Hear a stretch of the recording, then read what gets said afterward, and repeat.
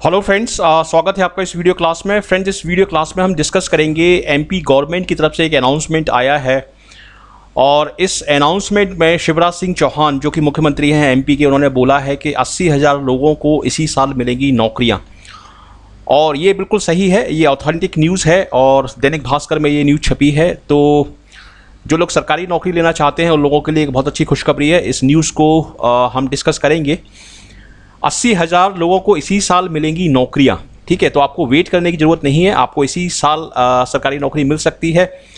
और इसके बारे में क्या लिखा है इस न्यूज़ में हम पढ़ते हैं पूरा। प्रमोशन में रिजर्वेशन का मामला सुप्रीम कोर्ट में चल रहा है। कई कर्मचारी और अधिकारी बिना प्रमोशन के रिटायर हो रहे थे इसलिए रिटायरमेंट की उम्र बासठ वर्ष की है। लेकिन इसके कारण युवाओं को कोई नुकसान नहीं हो इसलिए भर्तियों पर कोई रोक नहीं है। एक लाख लोगों को रोज़गार देना है और बीस हज़ार हो गए हैं। अस्सी हज़ार सरकारी नौकरियाँ इसी साल दी जाएँगी। तो ये जो स्टेटमेंट आया है, ये शिवराज सिंह चौहान मुख्यमंत्री की तरफ़ से आया है, पुलिस में छः हज़ार वैकेंसी तो तुरंत ही मैं निकालने वाला हूँ। मतलब छः हज़ार वैकेंसी पुलिस में अभी आने ही वाली हैं और इसके अलावा जो अस्सी हज़ार वैकेंसी हैं, वो इसी साल भरी जाएँगी 2018 में।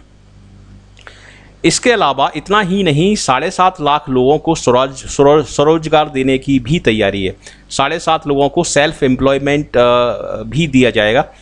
तो आप देख सकते हैं यहाँ पर कितनी सारी नौकरियाँ यहाँ पर आपको दी जा रही हैं। हमने स्किल्ड मैन पावर को लेकर कंपनियों से एमओयू किया है। ये पाँच लाख जॉब देने को तैयार हैं। तो प्राइवेट सेक्टर में भी इस बार पाँच लाख जॉब मिल सकते हैं।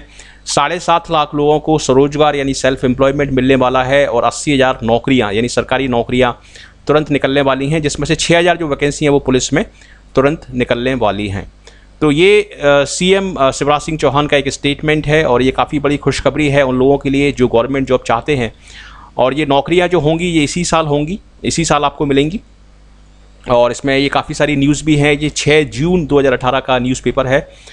ठीक है? तो यहाँ पर एक क्वेश्चन आंसर सेशन किया गया है सीएम के साथ और उसमें काफ़ी सारे लोगों ने उनसे क्वेश्चंस पूछे हैं। उन क्वेश्चंस का इन्होंने आंसर दिया है और ये ऑथेंटिक न्यूज़ है और ये काफ़ी बड़ी खुशखबरी है युवा लोगों के लिए जिनको नौकरी चाहिए।